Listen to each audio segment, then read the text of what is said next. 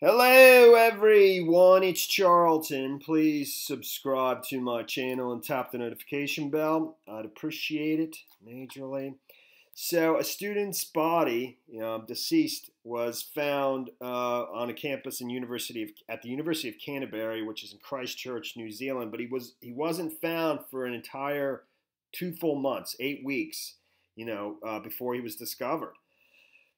I guess uh, they must know the time of death because that's how it's being repeat, reported again and again. But um, you know, I assume his body by that point was in in such a state. I don't know if it, it's already started to decompose by that point.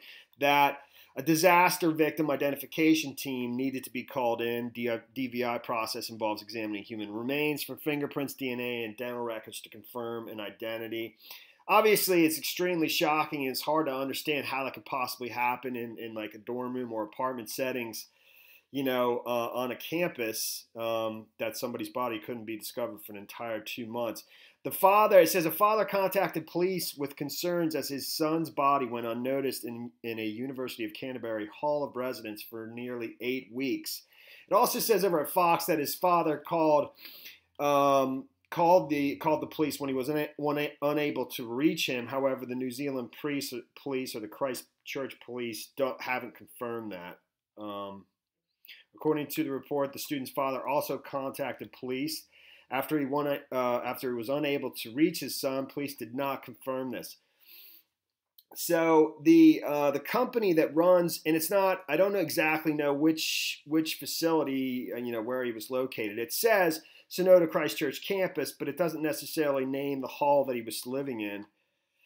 Uh, but it does say in another report, I think for a Fox, that it's the Campus Living Villages is the company that operates, you know, these these housing facilities. At least, you know, the one in question for this, and they have facilities all over, you know, they, in the United States, United Kingdom, Australia, New Zealand. This is New Zealand, and this is the University of Canterbury facilities. I believe it's maybe University Hall or Sonoda Village. That would be my guess.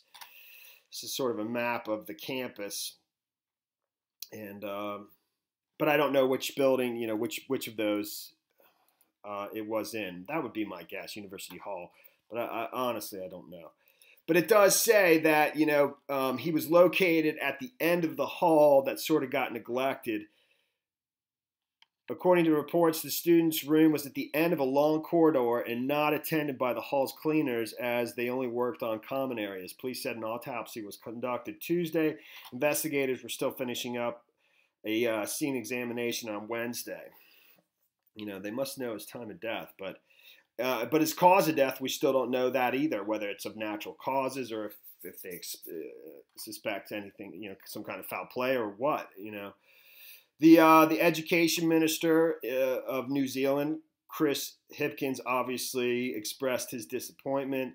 On Wednesday, the country's education minister, Chris Hipkins, called for an investigation, saying the death was deeply troubling. If you're going to if you're going into a hall residence or a hostel, you're paying top dollar for not just a roof over your head, but also uh, the pastoral care that goes uh, that goes with that. And I think clearly that's not been present in this case it's pretty uh, it's pretty crazy for sure.